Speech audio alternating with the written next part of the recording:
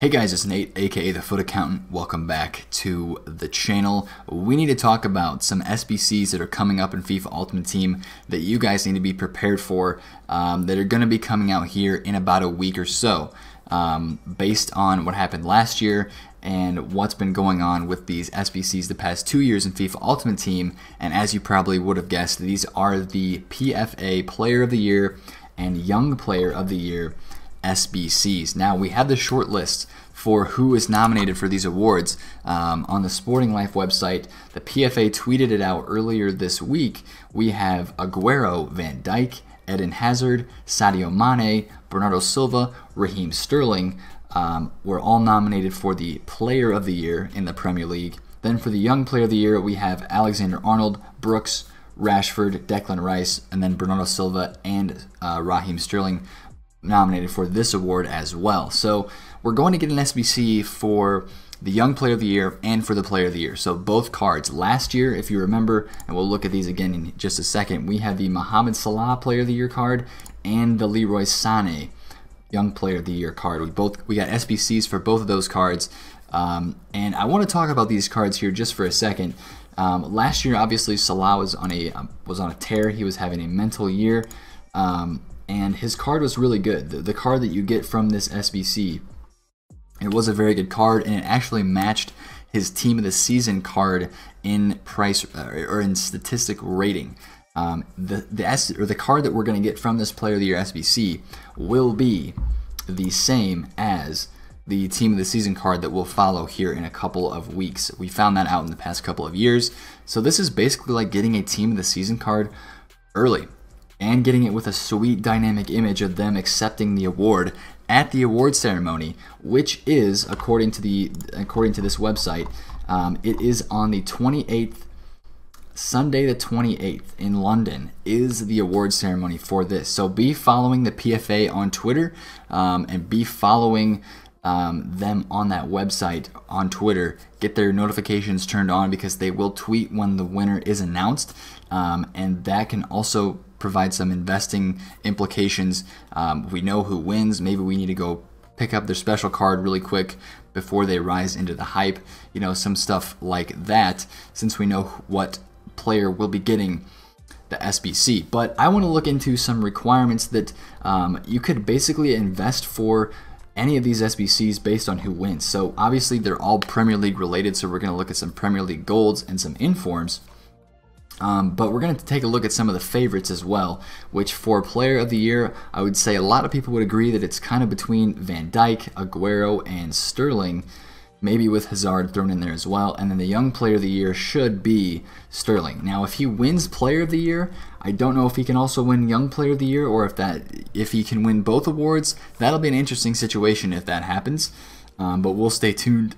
Excuse me, we'll stay tuned um, to what is going on with these awards. Get Twitter notifications on. Make sure you're following them on Twitter at PFA um, to stay up to date with some of this um, information that's going to be coming out on the 28th of, of April. So we'll be staying tuned on that date. But let's start to look at some investments. We're going to refresh the page to get the most accurate rating of these high rated gold cards. But a lot of them have dropped. We had a lightning rounds this weekend with Team of the Knockout stage promo and also we had squad battle rewards um, uh, right before I recorded this video. So these cards have dropped a lot. They were around 20,000 coins for the 86s, and these the 85 and the 86s right now are really an area that I like to look at based on some of the prices that I'm seeing, especially this Otamendi down here at 18,000 coins. Now I have a few that I've already picked up on my transfer list. Um, I know I'm not a huge guy that likes to invest and go unassigned and all kinds of stuff um, on gold cards for something like this. But, you know, Otamendi rises to over 25,000 coins when there is a popular SBC that comes out, and these Player of the Year SBCs are definitely going to be popular. At least um, in the hype, I would expect an Otamendi card or an Ederson card, you know, these 86 rated Premier League um, Man City players, I would at least expect them to rise over 20,000 coins in the hype. So if you can get them uh, somewhere around like the 19,000 coins, I've usually been paying 18,000 coins or less. Um, get them on a bid, get them on snipes, um, get them this week because um, the later that you wait, and that's why I'm putting this video out here um, pretty pretty early on, you know, a, a, week ahead of the actual SBC coming out.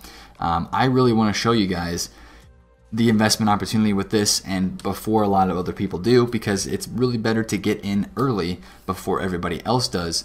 That way you're, you know, the price of the card rises as everybody else as in, is investing and you already are invested. So there's some good gold cards. Basically any Premier League gold card, 85 rated um, or above, even some 84s.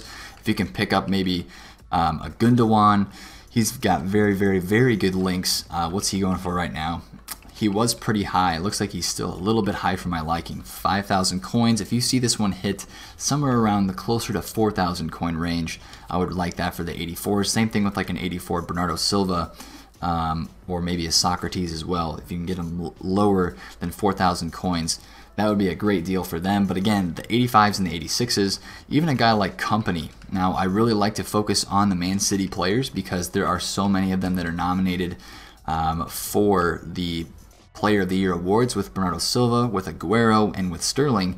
Uh, I feel like one of those guys is bound to win, with the most likely being Sterling. So, a lot of Manchester City investments, you're going to see a lot of people recommending this type of stuff, and I guarantee you there will be some type of Manchester City requirement in the SBC if they format it like they did in years past, which I would imagine that they would. So we're looking at some gold cards. You're going to need high rated Premier League cards regardless. So any high rated Premier League player is a good investment as well. And as we looked at a lot of those prices, they are pretty low. Um, Otamendi being a great a great deal because center backs rise up more because you need chemistry for a lot of these squads. Um, for that matter only, but we're going to look at gold informs as well from the Premier League and see where they're at because informs are also a very necessary requirement. Now, a lot of these are inflated already, but there are a couple of them that I do think could be pretty solid informs. Uh, Ben Mee at 23,000 coins. He has a lot of supply on the market. We'll take a look at his card. He was a previous Team of the Week um, investment that a lot of people invested in, and he never really rose. Um, but if you go on the market and look at his supply, he has tons and tons of supply. But um, that's, I mean, he's only going to get bought up and he's only going to get continually put into SBCs um, if he, um, if there is an inform requirement. So his price will go up if there's an inform requirement. It's one of those cards that I would maybe stay away from going um, a ton of investing in a ton of these cards. I would rather you go invest in a bunch of Otamendi's at 18k than buy a bunch of 83 rated Ben Mees at 23k. So that would be that's not the best investment in my opinion. The informs right now it doesn't look to be the best, um, but there are a few of them that are pretty good. And actually, if you look at this week's team of the week, we'll take a look at this for for a second right here. Uh, the Schär and the Fraser, both of these cards um, for 86 rated informs in the Prem, they're kind of low. So keep your eye on a few of these. If you see them low 30s, maybe you can get a couple on bid that could be a very good investment. And then English Informs as well. This one I think is going to be a favorite for a lot of people to invest in, but I understand why. If Sterling would win the award and it would require an English Inform um, in any of the squads or an Inform with Premier League players, you, are going to be able to get some links, um, maybe with some other English high rated golds um, or other English golds in the game. This would be a good investment to link for an English Inform requirement. 84 rated, 19,000 coins for an 84 rated inform is pretty good, especially with the English rating. Even though he's in the EFL Championship, Dwight Gayle, uh, still a pretty solid investment in my opinion for that card right there. Um, but again, the informs, you know, the high rated golds, that's kind of the majority of what was required for this SBC. If we go back and look at Leroy Sané, you needed a Manchester City player, four Premier League players, two Team of the Week players, and an 85 team rating and 85 chemistry. That's the big ticket for an SBC like this. That's where a guy like Otamendi would get boosted up even greater, and especially in Ederson, because you're that would be a really easy way to get some chemistry there and to get some rating for Premier League players with those two guys. And since you need that high chemistry rating, you really need to have people in position. So um, the Ederson, the Otamendi, the Kompany, the Gundogan, the Socrates maybe as well would be great investments for an SBC, SBC that would be just like this inside of the Player of the Year SBC. Now, on to the SB or to the uh, requirement that a lot of people have invested in, and that would be a special item of the actual player's card. Now, last year Leroy Sané had an inform, and the inform went crazy. Obviously, he that card was invested in, but it boomed um, and stayed high in price because of this SBC. So, let's look at a couple of these special cards of players that um, are towards the front running of this SBC to win. Obviously, there's been a lot of people that have invested in these Sterling special cards already. I'm kind of staying away from it because I feel like uh, the, the, initial wave of investing has already happened and they're still pretty inflated. Um, but some of these cards are pretty low, and you can see that a lot of people have these cards listed for lazy buyers right now. As I'm six pages in on Sterling and I'm still in the first minute, that to me is somebody who has a ton of those cards and they're just listing them up for lazy buyers at the moment. Um, that's what I see there. But some of these cards have already risen a decent bit. So I don't think this is the best investment. Um, I would really look to say um, that this would be something that you would want to keep an eye on just in case they don't require it. If they don't require a special Sterling, you're going to see his card prices tank. There are a lot of people invested in that right now, and it is a possible investment, but I would stay wary. And if you're going to end up doing the SBC, I would say it's probably not a good idea to buy this card beforehand and just take the, uh, you know, pay whatever price you have to when the SBC comes out. Because when the SBC comes out, regardless of whether that this inform or any of the Sterling or Van Dijk or Aguero special cards are required, you're going to see a lot of people selling off their investments.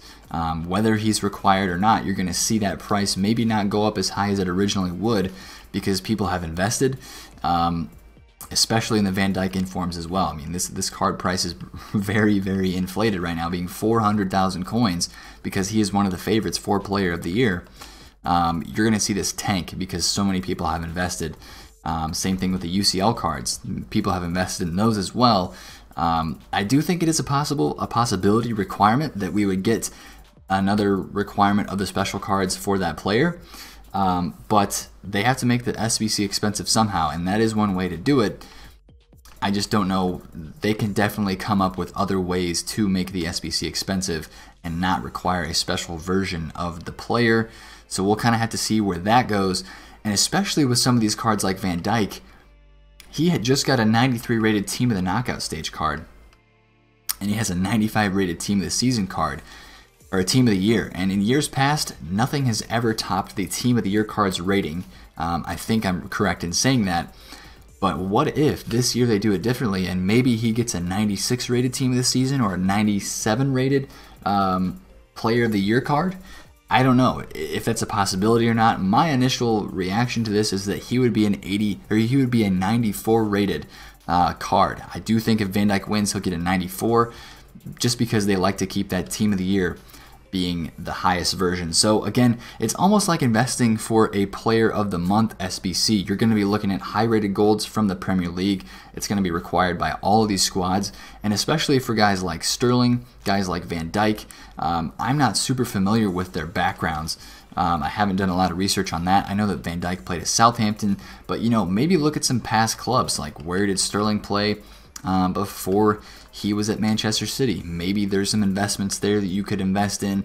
Um, a certain team, like we looked at last year, we had the Leroy Sané up, um, and he had a SBC featuring his former club Schalke.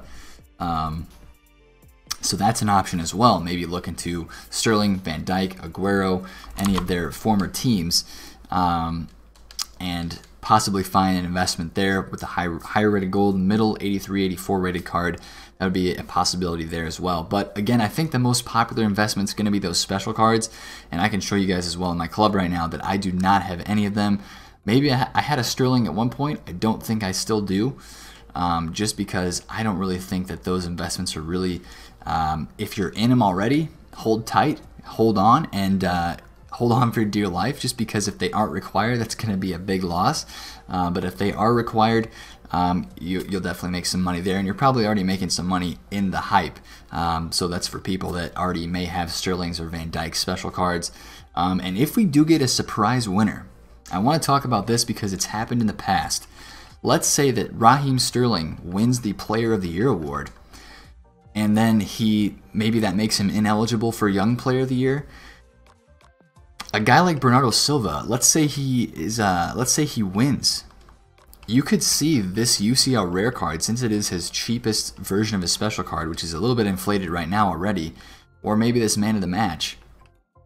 You could see some of these prices increase a lot. That's why I told you guys, or make sure that you have the Twitter notifications turned on for the PFA Player of the Year account um, right here at PFA on Twitter. Make sure you have those notifications turned on.